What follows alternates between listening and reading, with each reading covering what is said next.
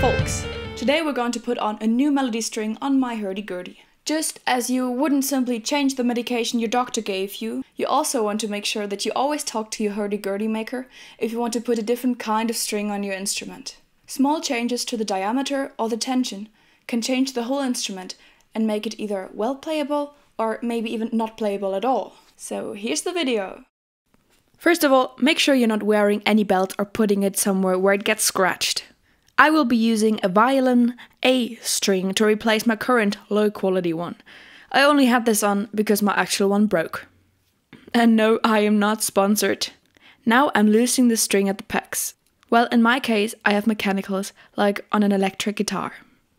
At the other end of the string, I had a little flat, square shaped piece of plastic that I will reuse so that the metal end of the string doesn't damage the wood or slip through. Take off the string, get the new string, put that little piece on the new string, and attach the string to the one side of the instrument.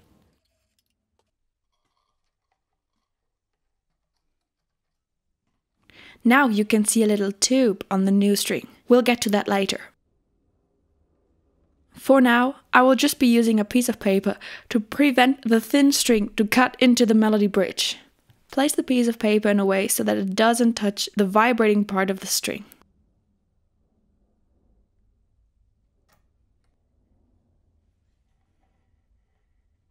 Oops! Well, maybe only place it there as soon as the string is halfway tied. Alright, got it! So, place it again and make sure the string sits on the instrument correctly. Uh, no, please do not immediately tighten the string.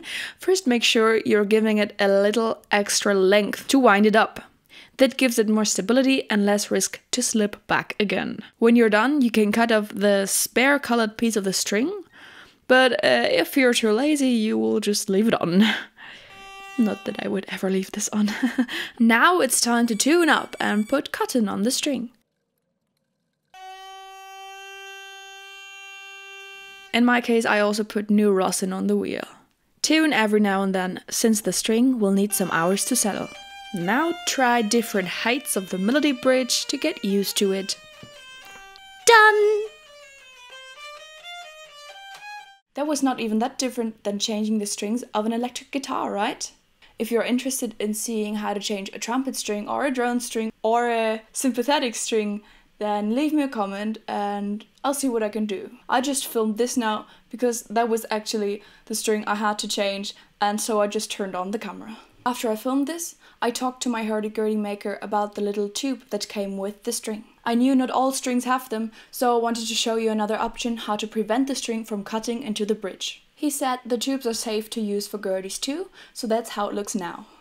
After all, I'm still not completely happy with the sound of the new string, so I'm soon going to try out a string that has a little more tension. Thank you for bearing with me and have a good day. Bye bye.